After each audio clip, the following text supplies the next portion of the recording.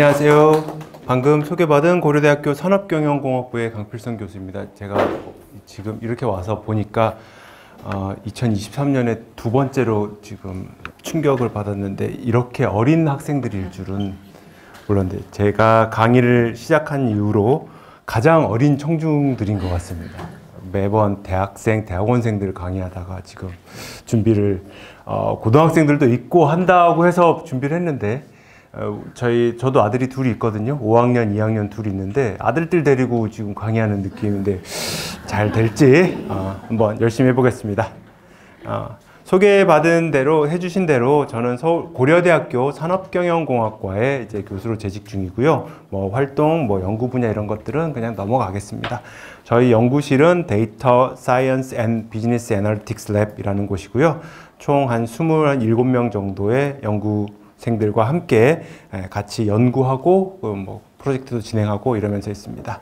어, 지금 현재는 별로 큰 도움은 안 되겠지만 나중에 고등학생, 대학생 돼서 machine learning이나 인공지능에 대해서 뭔가 궁금한 점이 있으면 저희 연구실 유튜브 채널도 있어요.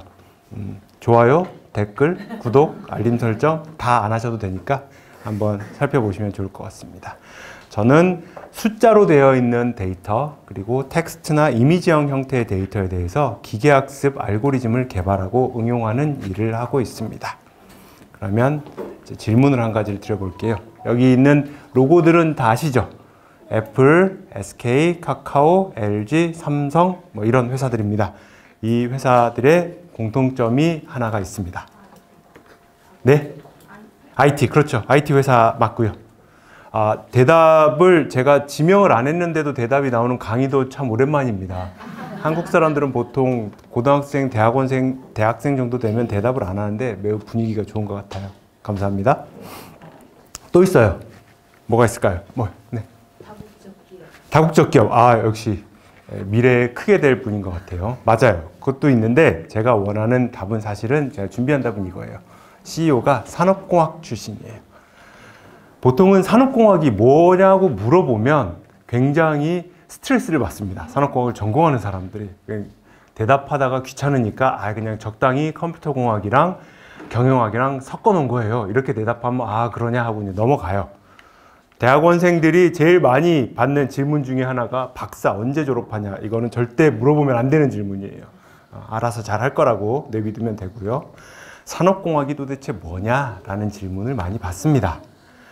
산업공학이 무엇인지는 무엇인지를 일반 대중들한테 알리는 것은 산업공학을 전공하고 있는 전국의 모든 대학의 교수님들의 어떻게 보면 궁극적인 목표이기도 해요. 어렵거든요. 잘 안 와닿고 특히나 여러분들처럼 초등학생일 때는 잘 오늘 제가 하는 얘기가 잘 안 와닿을 수도 있어요. 미리 얘기를 할게요. 그래서 산업공학은 공학의 지휘자다. 모든 시스템적인 사고를 한다. 뭐 이런 이제 표현들이 있는데 이걸 이제 다시 한번 생각을 예를 들어가지고 설명을 해볼게요. 기계공학과 하면 딱 뭐가 떠올라요? 기계를 만든다. 그렇죠. 로봇을 만들고 자동차를 만들고 여러 가지 공장에 들어가는 기계를 만들어요. 전기공학 또는 전자공학 하면 뭐가 떠올라요? 네? 충전기. 충전기? 아, 그렇죠. 그것도 전자제품이니까 맞습니다. 그런 것들이 눈에 보이는 어떤 물질적인 것들이 떠올라요. 컴퓨터 공학 하면은 뭐가 떠올라요? 코딩, 그렇지. 게임. 우리 둘째가 너무 게임을 많이 해서 지금 힘든데 그 친구도 게임 많이 해요? 아. 혹시 엄마나 아빠가 아이패드나 휴대폰 시간 설정 관리해줘요? 안 해줘요? 어. 폰이 없어? 너무 슬프다. 아, 그래요. 없는 게 좋은 거예요. 있으면 계속 그것만 하니까. 자, 재료공학이라고 하면 재료나 소재들에 대한 것들을 연구하는 학문이에요. 건축공학 또는 토목공학 하면 우리가 살고 있는 집, 도로, 다리 이런 것들을 건설하는 그리고 연구하는 학문이에요. 에너지공학도 마찬가지고. 그럼 도대체 산업공학은 뭐냐? 산업 단지를 조성하는 게 산업공학이냐? 그렇진 않습니다. 그러면 이제 문제를 하나 풀어볼게요. 여러 가지 이거 버전이 있는데 뭐 이제 코끼리를 냉장고에 집어넣는 방법. 그래서 이제 공대생들끼리 하는 버전이 있어요. 기계공학. 어, 이거 녹화되는데 이런 말 하면 안 되는데 서로 우리끼리는 아, 공대생들 중에서 기계공학은 무식하다 이렇게 얘기를 하거든요. 그래서 그냥 무식하게 코끼리를 집어 넣을 수 있는 냉장고를 개발해서 거기다 넣는다. 끝. 아주 단순하죠. 생명공학은 암수 한 쌍의 코끼리를 구해서 코끼리를 교배시켜 수정란을 구한 다음에 그걸 냉장고에 넣으면 어쨌든 그것도 코끼리예요. 아직 태어나지 않았을 뿐이지 코끼리 맞잖아요. 그렇죠? 자, 전자공학은 조금 어려워져. 혹시나 이거를 지금 이 말을 이해할 수 있다. 이 자리에 있으면 안 돼요. 빨리 뭐 영재 학교 나 가가지고 어, 월반을 하는 게 좋습니다. 근데 그냥 적당히 이 사람들이 하는 이 유머가 있어요. 이거를 해가지고 하면 냉장고에 넣어서 코끼리를 넣는 게 되는 거예요. 컴퓨터 공학도 역시 코딩 혹시 배운 사람 조금이라도 그렇죠? 아 역시 손을 잘 들어요. 대학생들은 손 들라 그러면 안 들어요. 왜? 그 다음 질문 할까봐 손 든 사람들은 아, 손 막 들어도 질문 안 해요. 걱정하지 마세요. 이런 클래스나 이런 그 OOP라고 하는 object 객체 지향 프로그래밍에서 사용하는 어떤 용어들이 있어요. 그런 걸 가지고 이제 말장난을 해서 코끼리를 집어 넣어요. 자, 산업공학은 어떻게 푸느냐 이런 문제를 이렇게 시시하게 한 마리 넣는 문제 안 풀어요. 자, 우리는 뭘 푸느냐? 천 마리의 코끼리를 천 개의 냉장고에 매일 한 마리씩 넣어야 돼. 근데 우리한테 주어진 돈이 10억이 있는데 적절하게 천 마리의 코끼리랑 천 개의 냉장고를 사와서 넣어야 돼요. 근데 코끼리의 50%는 인도산이어야 되고 나머지 50%는 아프리카 코끼리여야 돼요. 냉장고는 우리나라에서 만든 거, 북미, 미국 같은 데서 만든 거, 유럽에서 만든 게 각각 3분의 1씩 사와야 돼요. 복잡하죠? 이런 문제를 풀어가야 돼요. 여러분들 엄마, 아빠가 다니는 회사에서 풀어야 되는 문제들은 다 이런 종류의 복잡한 문제들이에요. 그러니까 아빠 퇴근해서 오면 어, 수고했다고 한마디씩 해주세요. 저희 아들은 자꾸 현질만 해달라고 하는데 그러지 말고. 자, 이걸 가장 잘하는 분 회사가 애플의 아이 저기 팀쿡 아이 스티브 잡슨 돌아가셨으니까 애플 휴대폰 하나를 만들기 위해서 들어가는 부품이 몇 천 개, 몇만 개가 있어요. 그러한 부품들을 어떠한 세계 각지의 공장에서 생산을 해서 가장 저렴한 가격에 조립을 할 수 있도록 모든 이러한 제약 조건들을 다 만족시켜 가면서 생산을 하는 그러한 회사라고 보면 됩니다. 산업공학이 하는 일들이 이러한 일들을 다 아우르는 거예요. 이걸 다시 한번 생각을 해보면 산업공학은 크게 네 가지의 키워드가 있어요. 첫 번째, 현재 상황을 체계적으로 이해한다. 내가 처한 상황을 정확하게 이해하는 것. 그리고 그 중에서 어떤 문제를 명확하게 정의하는 것. 내가 해결해야 되는 문제가 무엇인지를 정의하는 것. 그리고 그 문제에 대해서 그냥 풀면 안 돼요. 1부터 여러분들 어, 초등학생이지만 어, 자, 저는 초등학교를 졸업한 지가 너무 오래돼가지고 1부터 100까지 다 더하면 얼마가 나오는지 푸는 방법 배운 적 있어요? 네. 어떻게 배워요? 그 1이랑 100이랑 더하면 그쵸.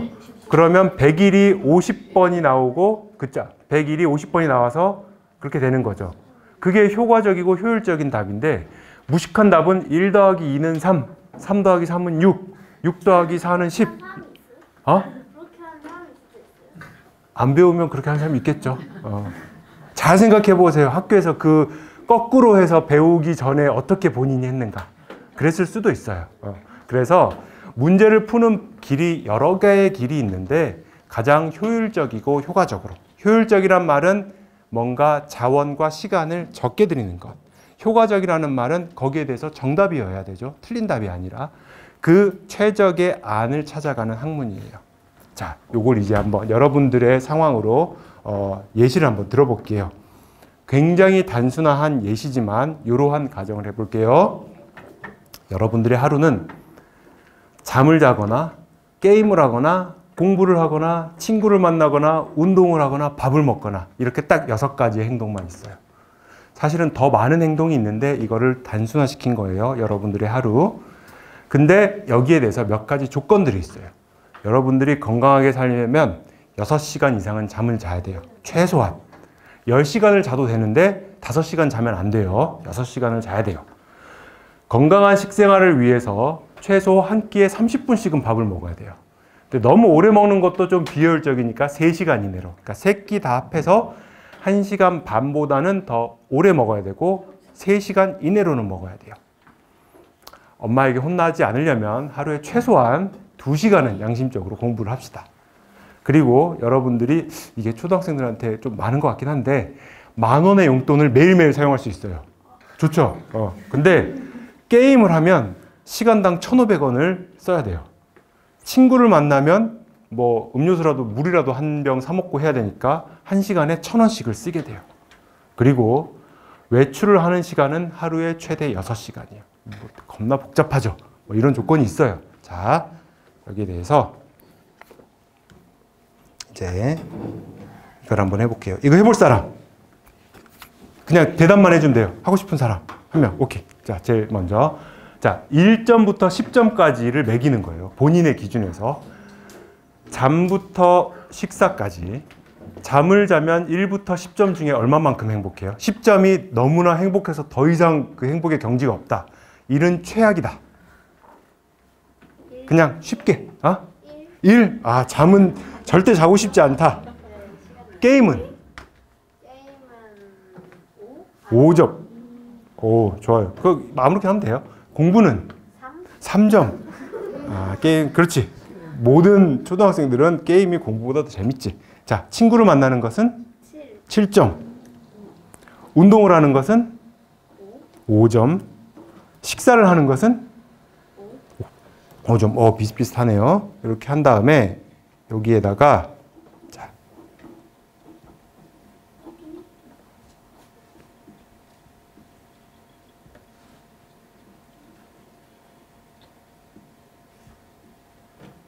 이렇게 하면요. 학생 이름이 뭐예요? 손 윤빈. 윤빈이는 어떻게 할 때 본인의 그 행복이 최대화가 되냐면 잠을 하루에 딱 6시간만 해야 돼. 자야 돼요. 게임을 하면 안 돼, 이제. 네, 게임을 하면 안 돼. 공부를 9시간을 해야 돼. 친구를 6시간을 만나고 운동은 1시간도 안 하고 식사를 3시간을 하면 본인이 매긴 이 점수를 요 기준에다가 딱 넣어보면 이제 90점의 행복 지수가 나오는 거예요. 한 명 더 해볼까요? 다른 사람 한 아, 너무 이것만 해서 90분 채울 수 있겠는데 이거. 아, 그럼 뒤에 있는 학생 해볼게요. 나중에 그리고 혹시나 이거 궁금하면 요 엑셀 파일 공유해 줄 테니까 요청하세요. 해줄게요. 자 다시 합시다. 제일 뒤에 손든 학생 저기 파란색 셔츠 어 본인 어. 자 다시 한번요. 잠은 1부터 10점 중에 얼마만큼 행복하다? 8점. 아, 잠을 좋아하는 학생입니다.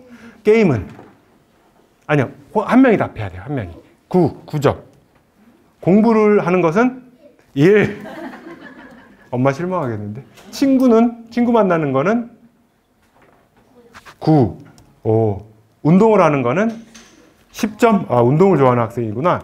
밥 먹는 거는 10점. 아, 운동과 밥을 좋아하고 친구 만나고 게임을 하는 건 좋지만 공부는 절대 싫다. 자, 이런 학생일 경우에는 자, 해를 찾아봅시다.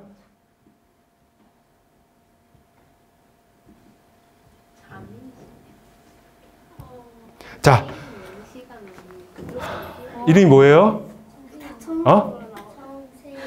세영. 세영 학생은 잠을 13시간을 자야 돼요. 제일 행복해지려면. 공부는 그래도 미니멈 엄마한테 안 혼날라면 2시간 해야 된다 그랬죠, 아까. 그러니까 최소한 2시간은 해야 돼요. 1점이어도. 그리고 운동을 6시간을 하고 식사를 3시간을 하면 가장 행복한 196점이 되는 거예요. 본인의 기준에 따라서. 자, 이런 문제를 푸는 게 산업공학자들이 하는 거예요. 산업공학 막 전공하고 싶어지죠, 이제. 아닌가? 약간 어, 좋아요. 한 명이라도 제가 이제 이 꼬셔가야 돼요. 전공을 하려고. 그래서 이런 것들을 하는 게 여러분들의 삶으로 표현을 해줬는데 결국은 모든 사회, 모든 조직, 모든 회사에서 풀고자 하는 게 이런 것들이에요. 내가 할 수 있는 게 얼마만큼이고 내가 무엇인가를 했을 때 얼마만큼의 유틸리티, 효용이 있고 그거를 언제까지 해야 되고 여러 가지의 제약 조건을 다 만족시키면서 내가 가장 잘할 수 있는 대안을 찾아가는 학문이 산업공학이라고 생각을 하면 됩니다. 아까 이거는 이제 예시로 한 거니까 이러한 것들을 이제 보여준 이거를 하나의 수식으로 보여준 거예요. 이걸 이제 풀어가는 어떤 이제 선형 계획법이라고 하는 기법이 있는데 그건 이제 대학교 때 가서 배워도 안 늦어요. 지금은 배울 필요 없어요. 재밌으면 됐어요. 자, 그래서 아까 말씀드렸던 산업공학에는 주요한 분야가 몇 가지가 있어요. 시스템을 통합하고 분석하는, 다시 말하면 현재 상태를 이해하기 위한 도구들, 그리고 그것에 대해서 정보 시스템, 이해한 것을 처리하는 도구들, 그리고 과거에서부터 산업공학은 기계공학에서 파생된 학문이기 때문에 뭔가 제품을 그 생산하는 여러 공정에서의 시스템을 관리하는 학문들, 그리고 최근에는 이제 인간 기계 둘 사이의 interaction, 상호작용을 연구하는 그런 학문들이 있습니다. 이렇게 얘기하면 잘 이해가 안 되죠? 다시 한번 얘기를 해볼게요. 여러분들은 요새 초등학생들은 어, 운동을 뭘 제일 좋아해요? 축구하고 야구 중에 축구, 농구, 농구, 그렇지, 축구, 어. 야구, 와. 야구가 이제 그 소수죠. 축구를 더 좋아하고 손흥민, 황희찬, 뭐 김민재 뭐 이런 선수를 좋아하고 자 그러면 자 보세요. 여기가요 이 두 가지의 표가 뭐냐면 EPL 여러분들도 EPL 보시나요? 아니요. 안 봐요. 아 축구는 좋아하지만 그 보는 건 아직 중고등학생 정도 돼야 보는구나. 팀들마다 홈과 원정 경기를 하기 때문에 원정 경기를 함으로써 이동 거리가 있어요. 그럼 여기는 여기서 보면 이동 거리가 가장 짧은 팀, 평균적인 그 원정 거리가 가장 긴 팀과 가장 짧은 팀이 있어요. 근데 이거를 가급적이면 공평하게 하고 싶은 거예요. 왜냐하면 여러분들도 비행기 타던 기차를 타던 배를 타던 뭔가 이동 수단을 타고 오래 타면 힘들죠. 네.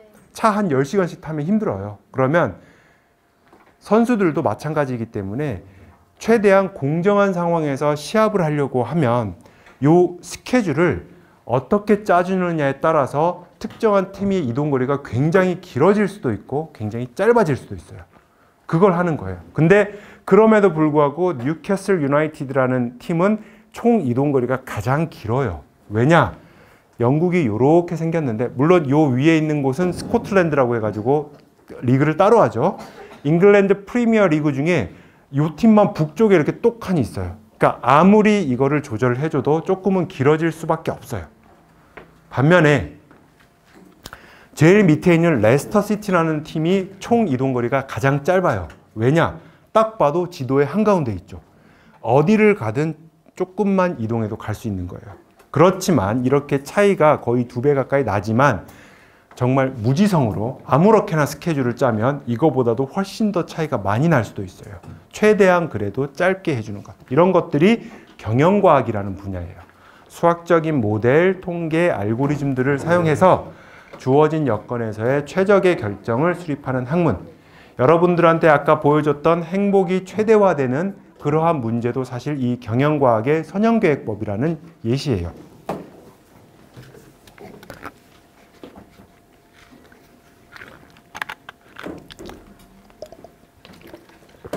두 번째, 경제성 공학이라고 하는 것은 자, 우리가 결국은 여러분들 용돈 받아요?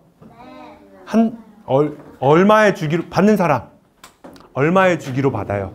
어, 한 달에 5천 원이요. 한 달에 5천 원. 그러면 그 옷, 어, 얼마 받아요?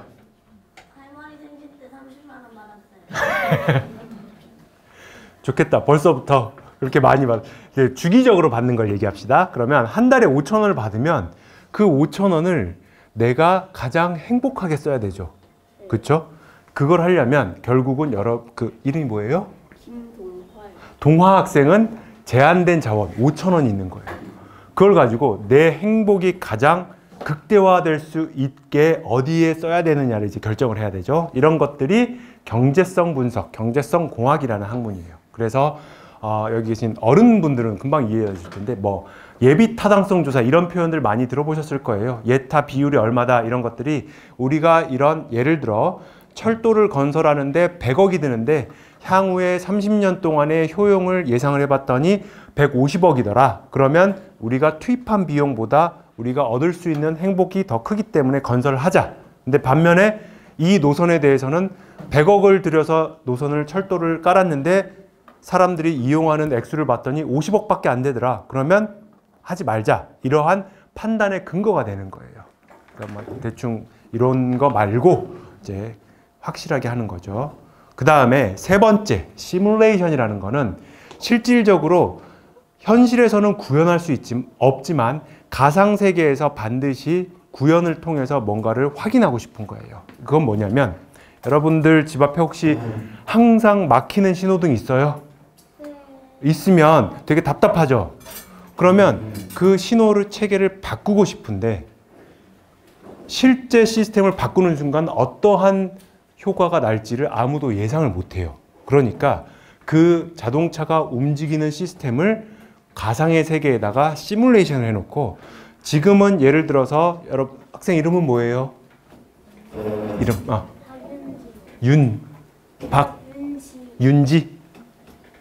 아 그러면 윤진의 집 앞에 원래는 신호등이 파란색이 1분 있고 빨간색이 2분 있었는데 파란색을 1분 30초로 바꾸고 빨간색을 1분 30초로 바꿨을 때는 교통량이 어떻게 변화했는지를 알고 싶은데 그거를 바로 바꿀 수가 없으니까 컴퓨터 상에다가 시뮬레이션을 통해서 바꿔주는 그런 학문이 시뮬레이션이에요. 그리고 나머지 이런 것들은 조금 초등학생 내용에서는 벗어나기 때문에 넘어갈게요. 혹시 꿈이 유튜버인 사람 없어요? 어, 있어요? 예. 엄청나게 크진 않은데. 아 뭐라고요? 엄청나게 크진 않아. 엄청나게 크진 않아요. 저희 아들도 유튜버가 된다 그래서 할 거면 열심히 해봐라 그랬는데 아, 팔로워가 100명도 안 돼서 이제 접었어요. 근데 만약에 도대체 내가 유튜브 채널을 개설했는데 그걸 누가 언제 어디서 얼만큼 보고 그로 인해서 얼만큼의 수익이 발생했는지를 잘 알고 있으면 그 사람들이나 또는 그걸 targeting을 해서 조금 더 효율적인 컨텐츠를 만들 수 있겠죠. 사실 나는 예를 들어 30대 남성을 타겟으로 해서 shorts라든지 영상을 막 만들었는데 실제로 내가 만든 영상 또는 내가 업로드한 영상을 많이 봐주는 사람들은 50대의 여성분들이에요. 그러면 그분들을 타겟팅을 해서 더 직접적으로 만약에 만든다면 더욱더 어 뭐라 그럴까 수익이 높아질 수 있는 그러한 의사결정을 하기 위해서 내가 왜 그러한 쪽으로 진행을 해야 되는지에 대한 근거를 제시해 줄 수 있는 학문입니다. 전사적 자원 관리라는 거는 넘어갈게요. 이거는 초등학생들한테 너무 좀 어려워서. 그리고 제가 하는 이 공부는 여기에요. 데이터 과학. 데이터를 이용을 해서 의사결정을 하고 의사결정이라는 건 판단이라는 얘기예요. 그리고 문제 해결을 목적으로 하는 학문이에요. 요 데이터 과학의 핵심적인 기능으로서 제가 연구하는 분야가 바로 인공지능이고요. 인간, 인공지능은 여러분들은 너무 어려서 요거 대국할 때 없었죠. 아니다. 있긴 있었겠구나. 한 5년 전이니까 태어나긴 했는데 요게 얼마만큼의 큰그 사회에 파장을 일으켰는지에 대해서는 아직 모를 거예요. 알고 있어요? 알파고라는 바둑 인공지능 소프트웨어고요. 혹시 바둑 배우는 사람? 어, 많이 있네. 요 이세돌 구단이 굉장히 자신감이 넘치는 분이죠. 자신이 없다. 나는 질 자신이 없다. 이렇게 그 엄청나게 자기에 대한 실력에 대한 믿음을 갖고 계신 분인데 이분이 알파고하고 첫 번째 대국에서 4대 1로 졌어요. 그리고 지금은 인간이 못 이겨요. 워낙 더 발전을 했기 때문에. 근데 요 인공지능 바둑은 여기서 보는 것처럼 환경을 인지해서 그 말은 무슨 얘기냐면 여기에 있는 바둑판의 상황을 이해를 하는 거예요. 보상이 최대화된다는 얘기는 바둑을 두는 궁극적인 최종 목적은 뭡니까? 집을 만들어서 그래서 많이 만들어서 그래서 그렇지 이기는 거죠. 보상이 최대화되는 거는 이기려고 하는 거예요. 이기려고 하는 행위를 할 수 있는 컴퓨터 소프트웨어죠. 세상이 얼마나 빨리 변하냐면 이건 여담인데 저는 어, 저 몇 살일 것 같아요? 40대. 어, 아까 그 최연수라고 하셨으니까 최연소? 제가 언제? 최연수라고 앞에 뭐 말했던 아 아닌데 40대예요. 40대 아저씨인데 저희 아버지는 그렇기 때문에 70대예요. 저희 아버지가 저한테 전화가 왔어요. 이거 하는 날 바쁜데 왜요? 아버지 그랬더니 네가 하는 게 그렇게 대단한 건지 몰랐다 그래서 무슨 말인가 싶었는데 바둑을 두는 인공지능이 사람하고 똑같이 생겼더라. 요 아저씨가 인공지능인 줄 알고 근데 몇 년, 몇 년은 모르겠고 몇십 년 안에 그렇게 될 거예요. 그 이제 저희 아버지는 워낙 오래되신 어르신이니까 제가 그래서 웃으면서 무슨 상황인지 파악하고 이 아저씨는 알파고가 이렇게 알려주면 그냥 돌만 놔주는 아저씨예요. 사람이에요. 그랬죠. 실제로 알파고는 이렇게 생겼어요. 컴퓨터들의 조합이에요. 컴퓨터들의 클러스터예요. 그래서 게임을 할 때도 이제 인공지능이랑 하면 모든 게임에서 사람이 프로게임, 페이커가 와도 못 이겨요. 이제는. 인공지능이 워낙 발달을 했기 때문에 이런 것들이 이제 있고요. 그리고 생산 관리라고 하는 것은 이제 주요 분야 세 번째 중에서 제품을 기획하고 소비자로부터 전달되는 일련의 활동에 대해서 모든 이 의사결정과 실행을 목표로 하는 학문. 이거 조금 어려우니까 넘어갈게요. 이거 몰라도 돼요. 품질 경영도 마찬가지예요. 자, 이것도 넘어갈게요. 그리고 여러분들께서 조금 더 이해할 수 있는 것 중에 하나는 집에서 컴퓨터 요새는 컴퓨터 많이 써요. 네. 어, 많이 써요. 게임할 때 많이 쓰죠.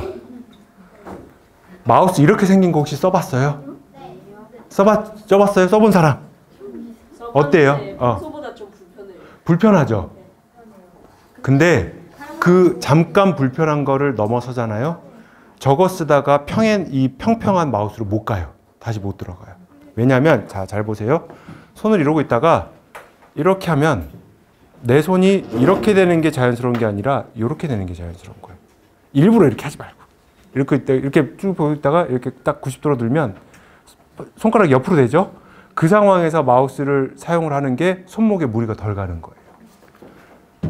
키보드도 마찬가지예요. 두 손을 그냥 이러고 있다가 뭐 반듯하게 하려면 내 손목을 이렇게 꺾어야 되거든요. 근데 팔 너비가 있기 때문에 이렇게 하면 자연스럽게 양쪽이 벌어져요. 처음에는 되게 불편할 수 있어도 한 번 익숙해지면 훨씬 더 편한 거예요. 이런 것을 연구하는 학문이 인간공학이고 산업공학의 한 분야예요. 사람이 어떻게 하면 더 편해질 수 있을까? 덜 아프게 살 수 있을까? 이런 것들이죠. 의학뿐만이 아니라. 그래서 이러한 것들을 조금 더 이제 아이폰이나 이런 곳에서는 확장시킨 게 사용자 경험이라고 표현을 하고요. 요 사용자 경험 중에서 혹시 이거 먹어본 사람 있어요? 맛있겠다. 맛있겠어요? 망했어요. 쫄딱 망했어요. 그리고 사실 제가 약간 그, 그 마이 소수 취향이라서 저는 똑같은 이거 땡땡이야 이거 그 저기 뭐냐 상표권 때문에 그죠? 뭔지 알죠? 여기서 한때 출시됐었고 제가 되게 좋아했던 버거가 또 있어요. 밥버거. 봉구스 요새 무슨 뭐 아, 어쩌고 부스 밥버거 있죠. 근데 원전 여기에요. 위아래가 쌀밥으로 돼 있어요. 고기 돼 있고. 저는 되게 좋아했는데 저만 좋아했나 봐요. 그것도 망했어요. 그래서 이제 단종이 됐는데 이런 것들을 이제 그 사용자가 무엇을 더 좋아할 것인가를 계속적으로 고민하고 연구하는 학문이 사용자 경험 UX예요. 그래서 지금 보면 이게 1998년 여러분들 몇 년생이죠?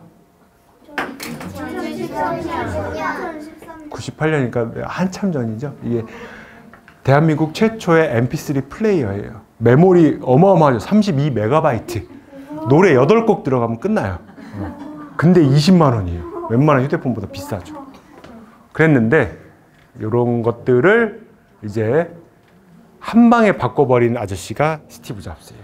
지금은 이제 아이팟도 아이폰에 이제 합쳐져 가지고 안 나오는데 아이팟도 처음에 요 휠을 한번 이렇게 슉 돌리면 막 그 곡들이 막 넘어가는데 정말 sensational 했죠. 이때는. 저 때 이거는 앞에서 용량을 보면 앞에 거는 이제 겨우 32메가인데 그냥 넉넉하게 하드디스크를 여기다 넣어가지고 5GB. 근데 요새 어떤 플레이어에다가 하드디스크 넣으면 욕먹죠. 누가 디스크 씁니까? 전부 다 메모리 쓰죠. 뭐 이런 것들을 연구하는 학문입니다. 그렇기 때문에 산업공학은 굉장히 범위가 넓다라고 얘기를 하는데요. 여러분들이 여러분들은 어렸을 때부터 영어 공부 많이 배우죠. 영어 많이 하죠. 자, 요거는 지금 당장이 아니더라도 인생을 살면서 여러 번 그때 그때 본인이 어떤 기로에 서 있을 때마다 한 번씩 보는 것을 추천해 드리는 영상이에요. 스티브 잡스의 아, 스탠포드 대학 졸업식 축사예요. 이 축사에 가장 제가 인생을 살면서 와닿았던 이 두 문장이 있어요. 해석해 줄 수 있는 사람. 음, 해서 중간 중간 중간밖에 해석이 안 돼? 할 수 있는 사람 있어요 혹시? 어 손을 들라 그러는데. 아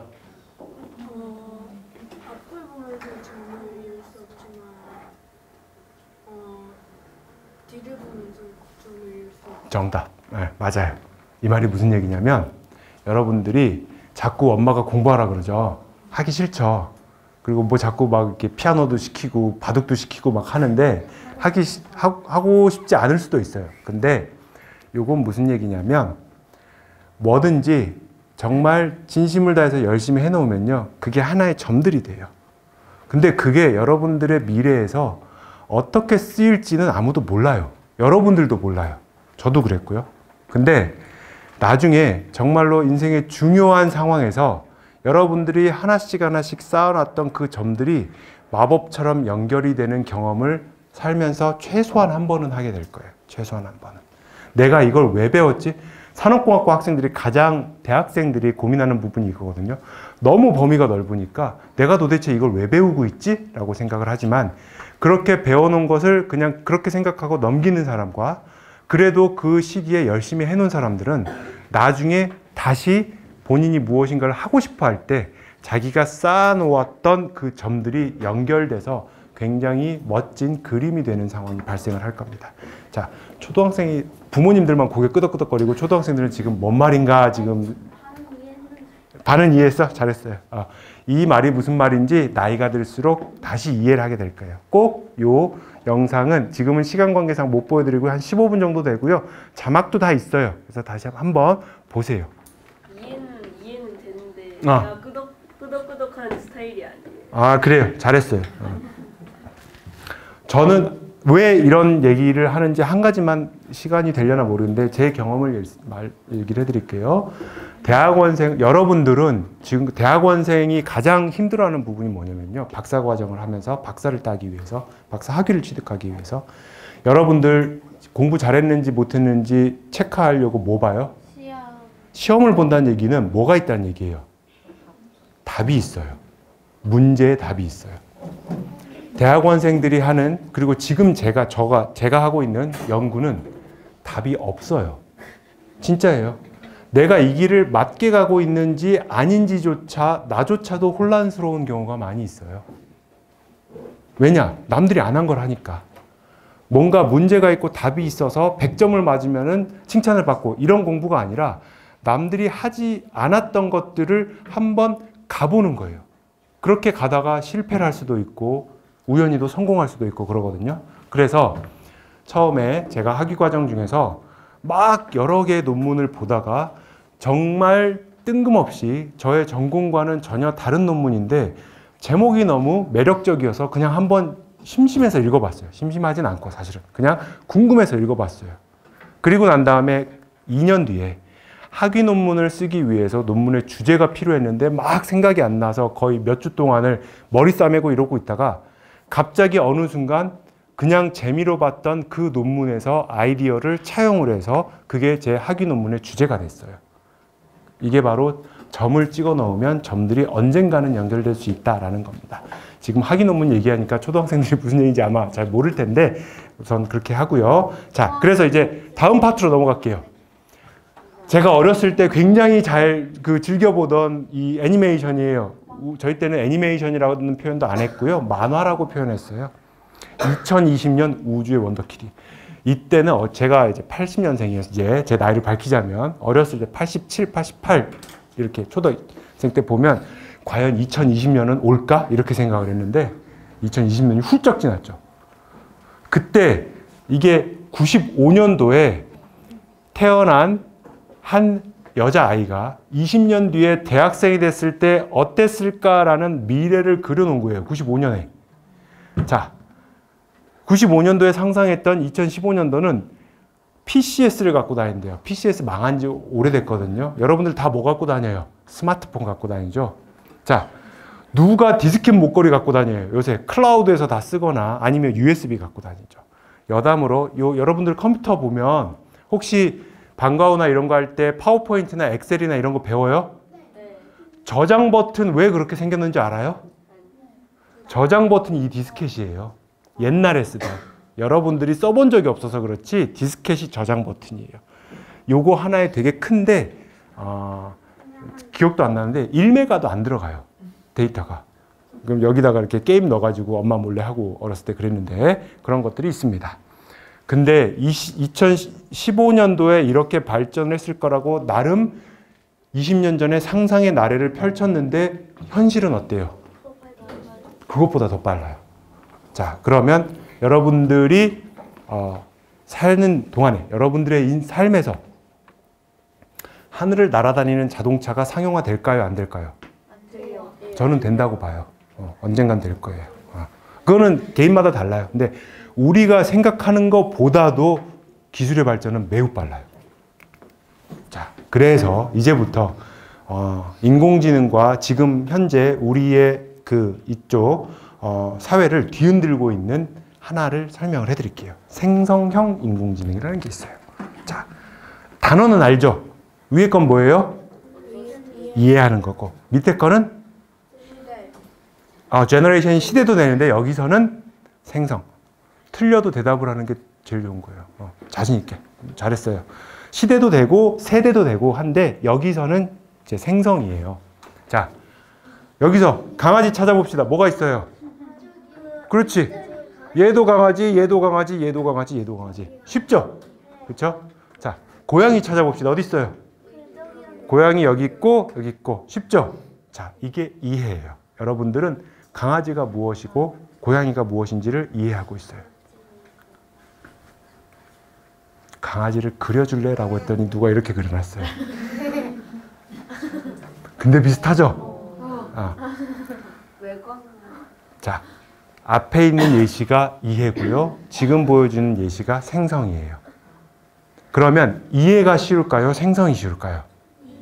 그렇죠. 이해가 쉬워요. 생성을 할 수 있다는 얘기는 그 개념에 대해서 정확하게 이해하고 있다는 것을 가정을 해 아니 내포를 해요. 그렇지만 이해하고 있다라고 해서 그걸 전부 생성할 수 있다라는 건 아니에요. 그렇기 때문에 인공지능의 발전도 똑같아요. 먼저 이해하는 인공지능이 발달을 하다가 어느 시점에서 생성하는 인공지능이 이렇게 시대를 이제 바꾸는 변혁을 이루는 것을 얘기를 하죠. 자, 그래서 생성형 인공지능, generative AI라는 것에 대해서 굉장히 열광을 하고 있고요.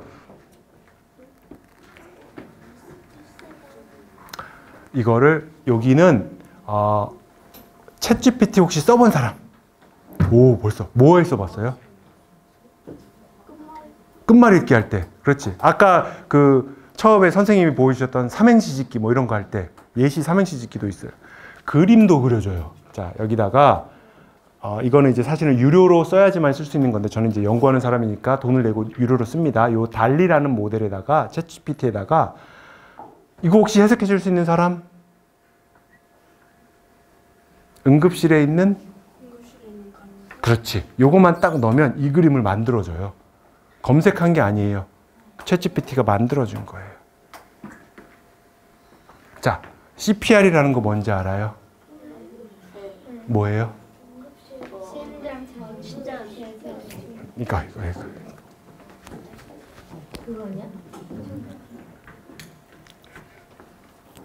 요거를 하고 있는 이제 심폐소생술, 심폐소생술을 하고 있는 간호사들을 그려주세요라고 하면 이렇게 그려줘요.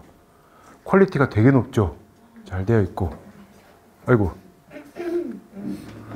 한글로도 응급실에서 CPR 하고 있는 간호사 선생님들 하면 이게 사실은 6월 달에 간호학회에 제가 특강을 가면서 만들었던 자료인데 안타깝게도 못 썼어요. 왜 못 썼는지 설명을 해드릴 텐데 그때까지는 잘안 됐는데 이때는 잘 돼요. 이거 만들어내면서 이 자료 만들면서 과연 이런 상황이 발생할까 싶었는데 제, 제가 저는 여러분들 얼굴 지금 못 볼 뻔했어요. 5월 25일에 심장에 충격이 와서 쓰러집니다. 그리고 실제로 지나가던 행인들이 보고 저한테 심폐소생술을 해줘서 응급실을 갔고요. 23일 동안 병원에서 의식이 없었어요. 요 스케줄이 올 초에 만들어진 거라서 지금 온 건데 아, 0.1% 미만의 확률입니다. 23%의 아 23일 동안에 의식을 잃고 있다가 지금 여러분들 앞에서 이렇게 얘기를 할 정도로 건강하게 회복된 거는 어, 의료 사상 거의 찾아볼 수 없는 그런 기적이라고 해요. 어, 그래서 저는 삶을 두 번째 삶을 선물 받았다고 생각하고 그렇게 살고 있어요. 글을 한번 갑자기 숙연해지는데. 어. 자, GPT한테 이런 거 시키면 뭔가 이상하죠. 근데 앞 글자가 어, 강이라고 잘못돼 있어요. 그래서 이제 다시 한번 대화를 하는 거예요. 여러분들 영어 공부도 어, 어머니들 여기 계시죠? 그냥 월 결제해 주시는 게 어지간한 선생님, 좋은 과외 선생님 모시는 것보다 더 나을 수 있어요. 100% 장담합니다. 이렇게 대화하면서 할 수 있어요. 발음도 해주고 하니까. 웃긴 간호사 삼행시 만들어 볼게요 했더니 아까 거보다는 조금 더 웃기긴 하죠. 근데 여전히 첫 글자가 니은이 아니고 이응 받침이에요. 자, 이런 것들을 하는 게 생성 하나의 생성 인공지능의 예시인데 이 생성 인공지능은 어떻게 만들어졌느냐? 자, 저는 어, 참고로 어, 오해하실까봐 아무런 종교가 없습니다. 전 종교가 없어요. 종교가 없는데 이제 유명한 얘기잖아요. 신이 인간들을 만들고 인간들이 성경에 의하면 저는 이제 종교가 없기 때문에 잘못 이해할 수도 있지만 인간들이 신에게 닿기 위해서 매우 높은 탑을 쌓자라고 해서 이렇게 바벨탑을 올리니까 하나님이 화가 나서 쟤네들의 언어를 전부 섞어라. 그래서 의사소통이 되지 않게 하라라고 하셔서 언어들이 생겼다라는 얘기가 있어요.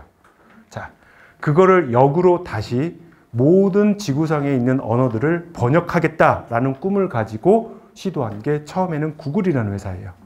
자, 이 구글이라는 회사에서 처음에 시도했던 건 통계적 머신, 아니, 통계적 기계 번역, statistical machine translation인데 이건 뭐냐면, 자, 여러분들 처음에 영어 배울 때 어떻게 배워요?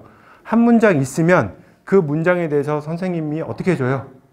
해석해 주죠? 그죠? 그러면 이거는 지금 이제 뭐 이 영어와 스페인어인지 프랑스어인지 잘 모르겠는데 한 똑같은 뜻을 가지고 있는 문장을 다른 언어에서 어떻게 표현하는지에 대한 쌍이 있어야 돼요. 이걸 충분히 많이 가지고 있고 여기에서 각각의 파트들이 어떻게 표현되는지를 통계적으로 가장 확률이 높은 가능성이 높은 것들을 이렇게 뱉어주는 거예요. 이렇게 시작을 했는데 하려고 하다 보니까 뭐가 필요하느냐? 요 각각의 번역된 쌍 데이터가 필요해요. 요 데이터를 구하는 것도 쉽지가 않고 구하기에도 어렵고 아 구하기 쉽지 않고 그다음에 비용도 많이 들고 하다 보니까 번역 품질이 엉망진창이었어요. 그러다가 한 번 또 한 번 big step이 뭐냐? sequence to sequence 모델이라는 게 있어요. 이런 것들은 나중에 대학교 때 가서 배우면 돼요. 그냥 얘기가 뭐냐면 여기서 보면 뭔가를 이렇게 문장을 하나를 딱 넣잖아요. 그러면 이 안에서 인코더라고 하는 것이 데이터를 처리하고 디코더라고 하는 것이 하나씩 하나씩 이렇게 내뱉어주는 이러한 구조가 인공신경망이라는 얘기는 혹시 들어봤나요? 인공지능에서 neural network라고 불리우는 개념이 있어요. 그 neural network라는 수학적인 로직을 통해서 이렇게 학습을 시킬 수가 있었어요. 그랬더니 앞에서 표현했던 통계적으로 각각의 표현들이 어떻게 번역이 되는지를 아는 것보다 어, 찾아내는 것보다 훨씬 더 번역의 quality가 품질이 좋아진 거예요. 이제 좀 쓸만해졌어요. 그렇지만 아직도 전문가들의 번역 품질만큼은 아니었어요. 그랬는데 이걸 이제 좀 넘어갈게요. 그 다음에 어텐션이라는 개념이 등장을 하면서 또 한 번의 발전을 이뤄냅니다. 이게 무슨 얘기냐면 요건 넘어갈게요. 어텐션은 자, 이 문장 번역해 볼게요. 자, 요거 혹시 번역해 줄 수 있는 사람? 틀려도 되니까. 어.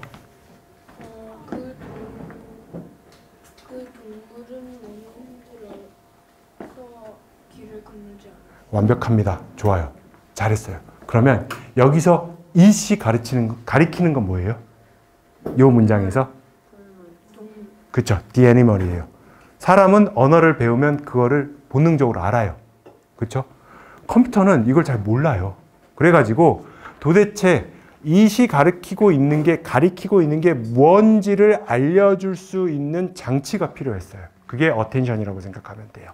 그래서 attention이라는 개념이 등장을 했고 그 attention이 좋으니까 여러분들 좋으면 맛있으면 아까 바나나 맛있 아니 저기 뭐지 바베큐 좋아하니까 나는 바베큐를 매일매일 먹고 싶다고 그랬죠.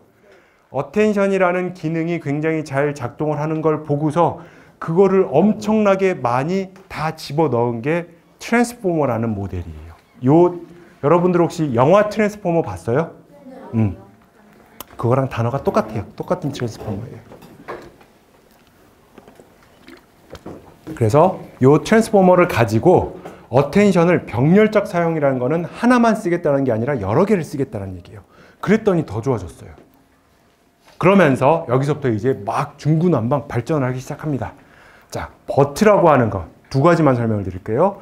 버트라고 하는 모델은 이해를 하는 모델이에요. 아까 이해하고 생성 중에 뭐가 더 쉽다 그랬죠? 이해가 쉽다 그랬죠. 그래서 먼저 이쪽이 발전을 해요. 요 버트는 무엇을 학습을 하느냐?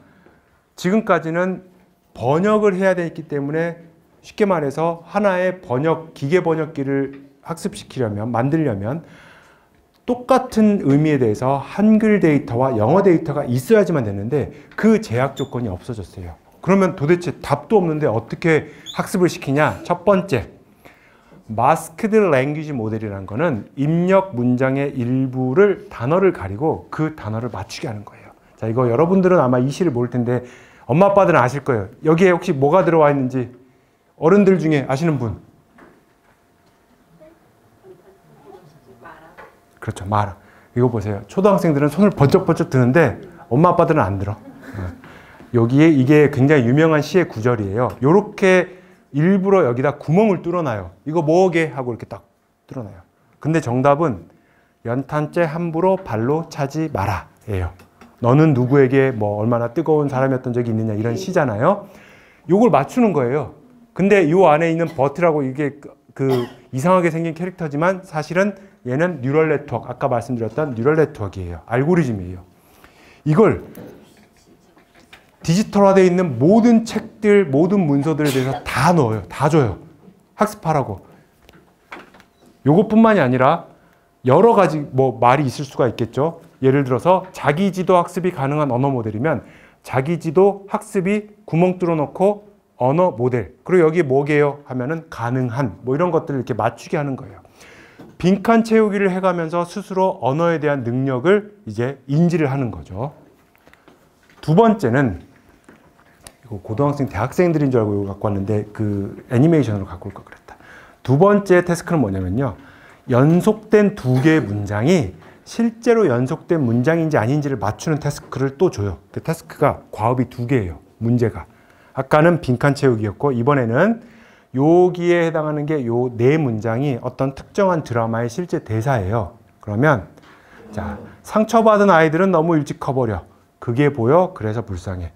원래 원문에서 바로 이어져 있죠. 그러면 이거는 다음 문장이냐 이어지는 문장이냐라는 질문에 그렇다라고 대답을 하도록 유도를 해요.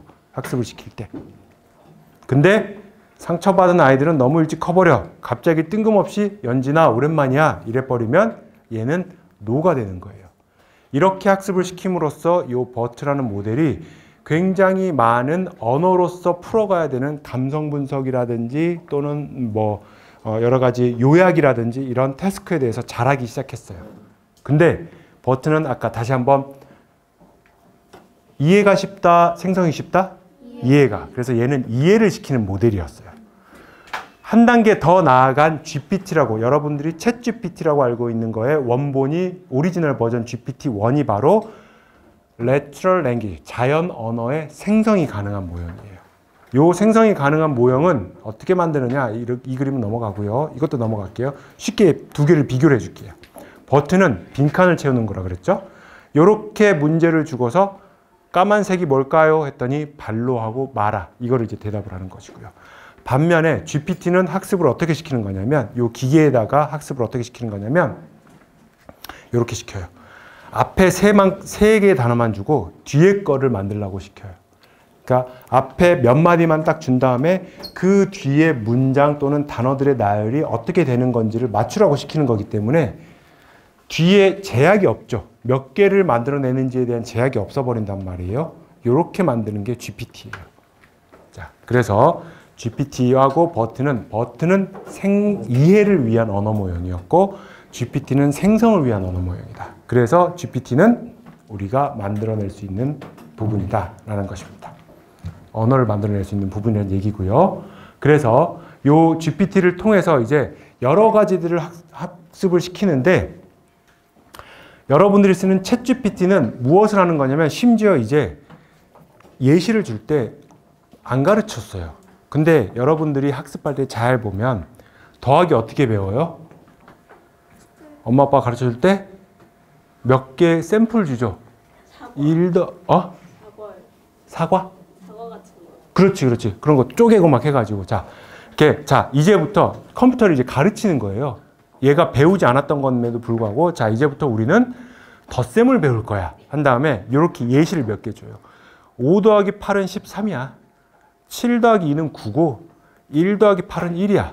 자, 몇 개 예시를 딱 준 다음에 문제를 줘요. 자, 그러면 15 더하기 13은 얼마야? 그러면 놀랍게도 GPT가 그 규칙을 파악해서 15 더하기 13은 얼마죠? 28이라는 답을 뱉어내줘요. 이게 meta learning이라는 개념이에요.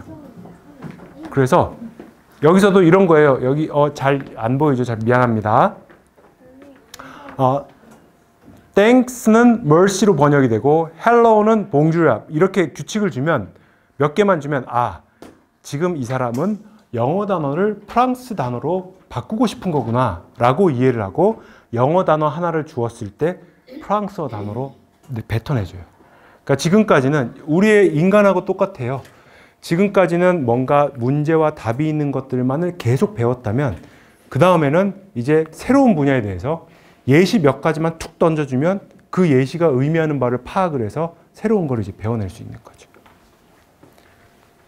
챗GPT는 이 인스트럭트 GPT에 대한 버전이에요. 왜 인스트럭트 GPT라고 표현을 하느냐?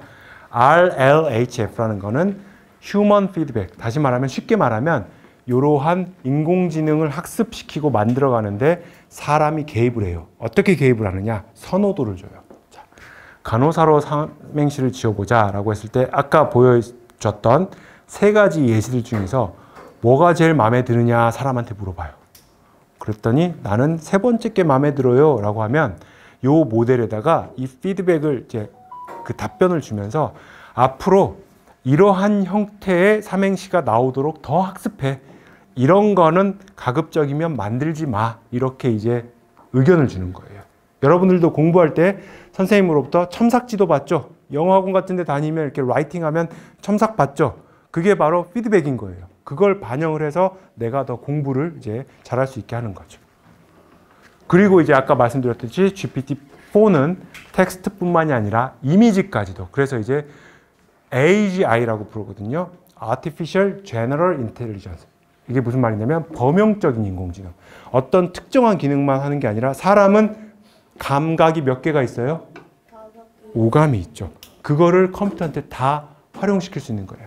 눈으로 볼 수 있는 거, 말로 할 수 있는 거, 귀로 들을 수 있는 거, 후각은 될지 안 될지 컴퓨터가 할 수 있을지 모르겠어요. 근데 언어와 시각적인 지능은 충분히 지금 다 통합되어 있다라고 보시면 되겠습니다.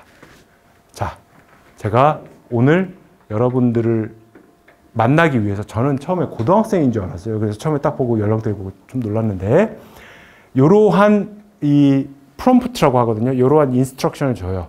이렇게 그려줘 라고 하면 GPT가 이렇게 그려져요. 어. 나름 비슷해 보이나요? 인공지능이기도 하고 40대 초반이고 한국인이고 차콜색을 입고 왔어야 되는데 남색을 입고 와서 좀 안 맞긴 한데 여튼 뭐 이런 정장을 입은 의미까지도 자, 다 어느 정도는 전달이 되죠. 이런 식으로까지 발전을 했다. 자 마지막 페이지입니다. 이 선수 누군지 알아요? 굉장히 유명한 메이저리그 야구 선수예요. 오타니라는 야구 선수인데 이 오타니라는 야구 선수는 100년도 전에 베이브 루스 이후에 처음으로 프로 리그에서 투수라는 역할과 타자라는 역할을 동시에 시도하면서 둘 다 정말 탑급의 실력을 갖고 있는 선수예요. 이 선수가 고등학교 때 본인의 인생을 위해서 만든 계획표예요. 이거 오타니 계획표 검색하시면 나와요. 안 찍으셔도 됩니다. 자, 그러면 본인이 야구 선수가 되기 위해서 해야 되는 목표들을 이렇게 다 만들어 놓은 거예요. 고등학교 때. 근데 가장 놀라웠던 건 뭐냐면 저는 너무나 놀랐던 건 사실 운동이라는 거는 노력도 필요하지만 타고난 피지컬, 몸, 그리고 재능도 분명히 필요하거든요. 근데 그것뿐만이 아니라 벌써 여기에 중요성을 알았다는 거예요. 운의 중요성.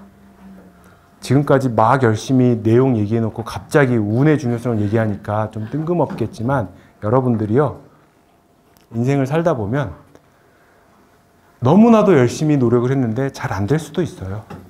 근데 어떤 상황에서 누군가가 여러분들의 손을 잡아주고 정말 좋은 쪽으로 끌어줄 수도 있어요. 그게 본인의 운이에요. 근데 그 운은 그냥 가만히 있다고 오는 게 아니라 여러분들의 운이 운이 들어올 확률을 여러분들이 더 높일 수가 있어요. 그 중에 가장 중요한 게 여기예요. 이거 별거 아닌 것 같죠? 인사하기. 어른들 보고 인사하고 친구들 보고 인사하고 저는 고등학교를 인천과학고등학교를 나왔어요. 특목고를 나왔습니다. 어, 조금은 여러분들께서 보시기에 어떻게 생각하는지 모르겠지만 그때 저희 제가 고등학교에서 배웠던 것 중에 가장 크게 인상이 남는 거는 그때 당시에 교장 선생님의 철학이었어요. 어느 정도 머리는 있고 공부는 잘하는 애들이다. 그런데 사람이 돼서 졸업을 해야지 공부만 잘해서 졸업을 하면 안 된다. 그래서 인사를 어떻게 시켰냐면요. 저 멀리서 선생님이 오면 인사하는 거 당연하고 한 학년 선배가 보이더라도 눈 마주치면 무조건 인사를 해야 돼요. 그러면 하루에도 천 번씩 인사를 하고 다녀요. 그게 3년 동안 습관이 되면 본인의 근육의 체화가 돼요. 딱 보고 어 나보다 많이 다 그러면 안녕하세요 하는 거예요. 근데 그런 삶을 계속 살아오다 보면 다른 사람들이 여러분들을 볼 때 굉장히 좋은 사람으로 평가를 해주는 경우가 많습니다. 그래서 지금은 이제 굉장히 저의 개인적인 얘기이기 때문에 다 말씀을 드릴 수는 없지만 직업을 찾고 무엇인가를 하는 상황에서 돌이켜 보니까 어 내가 왜 나한테 이런 기회가 나한테 굴러 들어왔지라고 생각을 했을 때 제가 내린 결론은 그거였어요. 아, 내가 어른들한테 인사를 참 잘하고 다녔구나. 지금 어른들 여기 계시는 엄마 아빠 엄마 아버지들은 무슨 얘기인지 아실 텐데 아이들은 아마 모를 거예요. 근데 정말 돈도 안 들고 쉬운데 여러분들의 운의 확률을 높여줄 수 있는 것 그게 바로 인사하기입니다. 친구들한테도 인사 잘하고 인사 웃는 얼굴에 침 못 뱉는다고 하잖아요. 먼저 나서서 반갑게 인사하는 습관을 들이는 걸로 여러분들에게 마지막 메시지를 전달하겠습니다. 자, 정확하게 8시에 마쳤습니다. 자, 강의 들어주셔, 강의 들어주셔서 감사합니다.